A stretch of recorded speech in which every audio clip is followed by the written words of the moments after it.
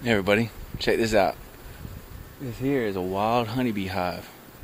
And you can smell that honey coming through like crazy. I can smell it. it smells like the old days when I worked at the honey farm. It's got that distinct smell. It's great. They are getting a little agitated with me standing here, but uh, I'm keeping it cool, keeping it quiet, and it shouldn't bother me too much. But I'm just waiting for that sting to come in. I feel like I got one climbing up my shirt, but uh, Man, I'll tell you what. Wish I could get in there and have some of that wild honey. That's the best in the world.